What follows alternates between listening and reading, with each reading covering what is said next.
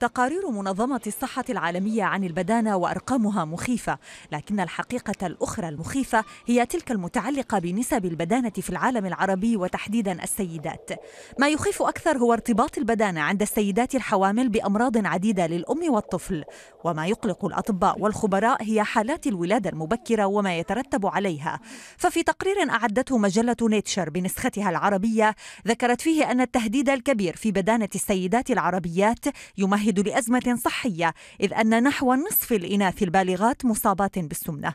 دراسة بريطانية سابقة كانت أشارت إلى أن الأطفال الذين يولدون قبل أسبوعين أو أكثر من الأسبوع الأربعين للحمل هم أكثر عرضة لإظهار صعوبة في التعلم والإصابة بالتوحد. الدراسات تلك تعمقت أكثر ووجدت أن الطفل الذي يولد لأم بدينة هو الأكثر إصابة في هذه الأمراض. أتت هذه الدراسة بعد أن حذر علماء في معهد كارلونيسكا السويدي من أن النساء البدينات ترتفع لديهن نسبة الولادة المبكرة أو حتى الإجهاض بنحو 25% مقارنة مع غيرهن من الحوامل ذات الأوزان المعتدلة. ولاحظت الدراسة أن ارتفاع مؤشر كتلة الجسم عند المرأة الحامل إلى 35% يؤدي لتعرض المرأة إلى ولادة مبكرة قد تكون عواقبها خطيرة خاصة على وظائف الإدراك عند المولود الحديث. وينضم إلينا في الاستوديو الدكتور سامح عزازي استشاري أمراض النساء والتوليد. أهلا وسهلا بك دكتور صباح الخير. أهلا صباح النور. أهلا. دكتور لو نتحدث أكثر لنفهم الرابط ما بين السمنة والولادة المبكرة لو تشرح لنا أكثر. هو السمنة في حد ذاتها بتبقى عامل عامل مساعد على حدوث مشاكل كتير أثناء الحمل. يمكن قبل الولادة المبكرة بيكون في ارتفاع الضغط وفي سكر الحمل اللي بنسمع عنه. لما العوامل دي بتؤدي إلى زيادة في حجم الجنين بالذات موضوع سكر الحمل وارتفاع الضغط.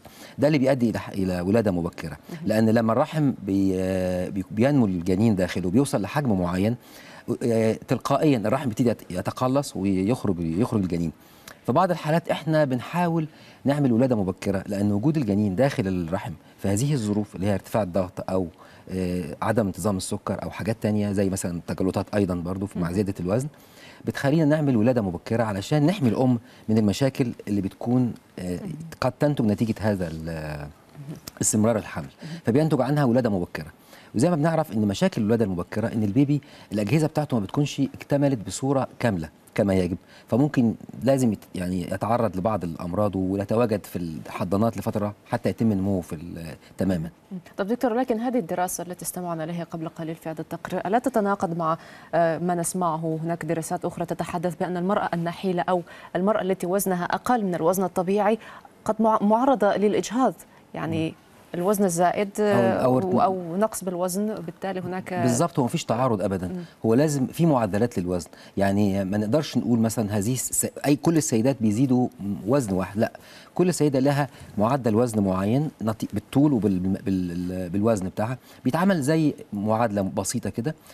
كل مجموعة من هذه السيدات لها معدل زيادة في الوزن الطبيعي. يعني نقول المعدل الطبيعي. وموضوع زيادة الوزن ده أو المحافظة على الوزن لازم يبدأ قبل الحمل. لأن ده أسلوب الحياة يعني السيدة اللي بتبقى وزنها أكتر من المعدلات دايما بيبقى عندها عدم انتظام في الدورة الشهرية بيبقى عندها صعوبة في حدوث الحمل يعني اضطرابات في الهرمونات كتيرة شوية.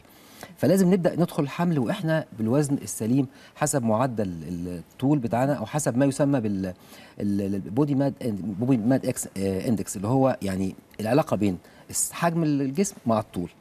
إذا دخلنا الحمل بالمعدل المظبوط دوت هيبقى معدل زياده الوزن بتاعنا الطبيعي. طب دكتور هنا الحامل دائما تنصح بأن تكثر من الطعام لأنها تأكل لها ولجنينها. كيف يتحول هذا الأمر إلى سمنة؟ هل نوعية الطعام كمية الطعام؟ نوعيه ك... آه. ما الذي يؤدي إلى هذه السمنة؟ هو الحقيقة إحنا برضو لازم ندافع عن الحوامل شوية. في حاجة اسمها التمثيل الغذائي. م. يعني إحنا الثلاثه لو أكلنا كلنا بيمشي تقريبا معدل السعرات الحرارية اللي جسمنا بيستفيد بمعدل معين. السيدة الحامل الأمور بتبقى مختلفة تماما. وعلشان كده في سيدات كتير بيبقى ما عندهمش سكر. فحوصاتهم سليمة قبل الحمل. لما تدخل فترة الحمل نلاقي معدلات السكر ترتفع شوية مع إنها يمكن تقول أنا باكل أقل من الأكل بتاعي. وده صح. فعلا التمثيل الغذائي أثناء الحمل بيختلف شوية. فالجسم بيستفيد بكل حاجة بصورة متضاعفة ويمكن أكتر من التضاعف شوية.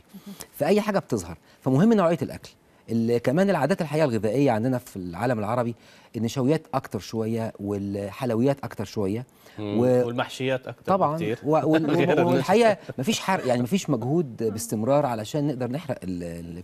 وبرضه في معلومات خاطئة إن السيدة الحامل لازم ترتاح وده طبعا لازم يعني. تعمل رياضة ولازم يعني في حاجات.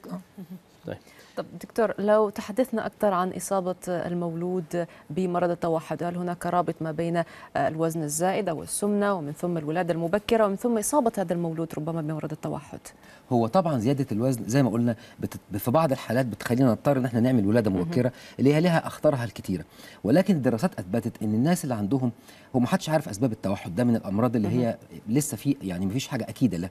لكن وجدوا إن الناس المعدل بيزيد للتوحد للسيدات اللي هم عندهم زيادة مفرطة في في الوزن أو ما قدروش يعملوا كنترول على زيادة الوزن أثناء الحمل.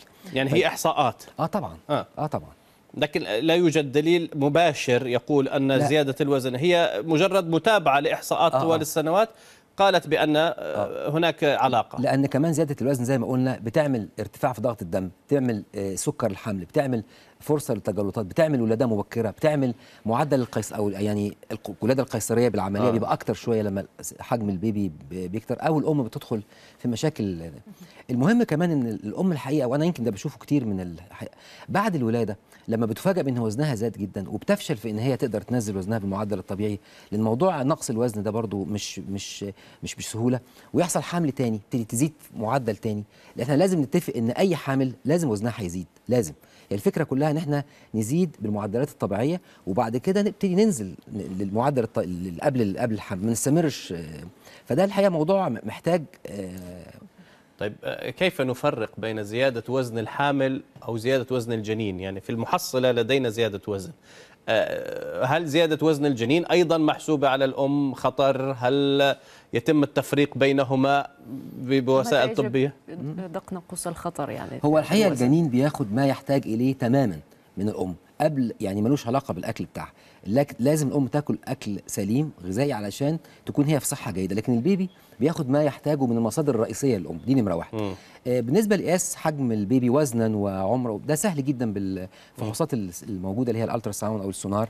نقدر نعرف معدل نمو نمو الوزن. وده برضو من الحاجات اللي إحنا بنشوفها الطبيب بيشوفها عشان يتأكد إن معدل الوزن ال baby في الطبيعي مش أقل أو أكتر يعني. يعني لا يمكن الام أن تتحجج بأنه لا مش أنا اللي وزني زاد هو الولد لا. يعني ما شاء الله كذا. هذا هذا الأمر محسوم يعني. محسوم. تماما. طيب. شفت كل الخدعة يوسف. طيب اذا كان معنا آه، آه، الدكتور سامح عزازي استشاري أمراض النساء والتوليد. شكرا جزيلا لك على هذه النصائح وهذه التوضيحات. شكرا لك دكتور.